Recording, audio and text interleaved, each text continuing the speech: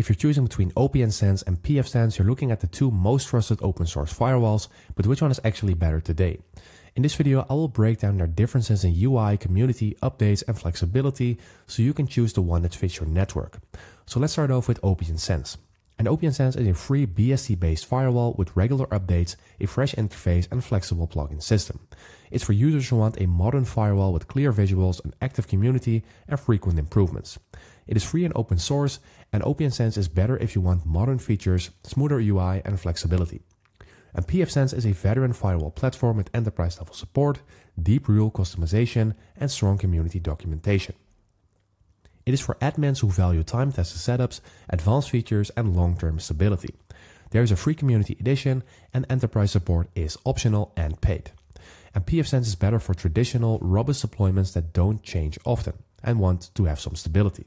And let's make a final verdict between these two.